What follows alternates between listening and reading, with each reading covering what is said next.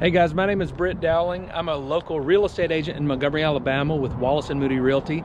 And if you've been searching for dog parks in Montgomery, Alabama, well, you're in luck because today I'm at the Hannah Daye Ridling Bark Park in Montgomery, Alabama.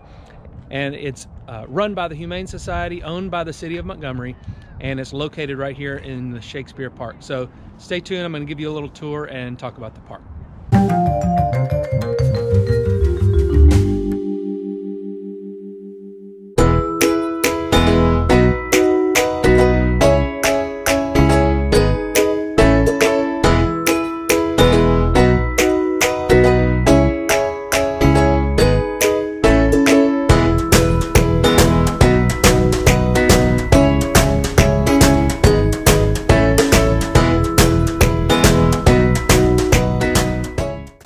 All right, so Montgomery has actually a few dog parks, but today we're only going to be focusing on the Hannah Daye Ridling Bark Park, uh, located in the Blount Cultural Park in uh, pretty much central Montgomery, pretty close to I 85, uh, right off the bypass and uh, off of Vaughn Road. So the Hannah Daye Ridling Bark Park opened in 2013. I talked to the park ranger there, and I believe she said it's seven total acres uh, five acres for the big dog area and two acres for the small dog area. So, like I said, there are two areas one for small dogs and one for large dogs. So, both areas have gazebos, they both have dog washing stations, and they both have uh, benches and water fountains. Um, seem to be a very close knit community of people who uh, have their dogs there and bring their dogs uh, on a regular basis. So, like I said earlier, there is a dog park ranger. Um, she, when I was speaking to her, she um, basically she keeps the park in order and ensures that all the dogs have up-to-date tags, up-to-date shots. Um, so it's probably a good idea to have tags on hand or the paperwork for your dog's shots on hand.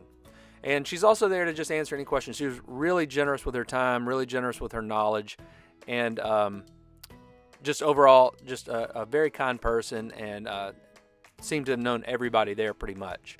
Unless it was a new person, she, she kind of seemed to know everybody, so which is good. You want to have a, a familiar face there. So both sides also have walking trails. They also have doggy waste stations and uh, tons of room for your dog to roam. Um, there are a few reviews about the dog park on the on the internet. Uh, there's a site called Bring Fido, which I'm sure you're familiar with. And Bring Fido rates the dog park at 4.8 bones out of 5. There are uh, just a few Yelp ratings, but all of the Yelp ratings give the uh, dog park a 5 star rating. And Google, which has about 274 or so reviews on the dog park, give it 4.7 out of 5 stars.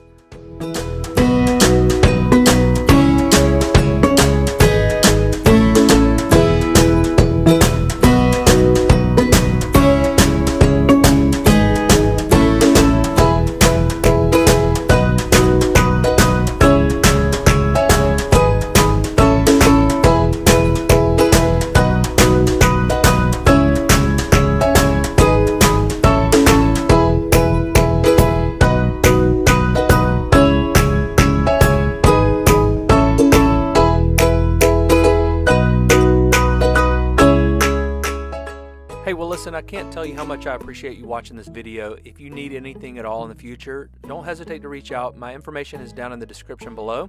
I'd love to help you in any way that I can. Uh, just give me a call or a text. I look forward to hearing from you. Thanks.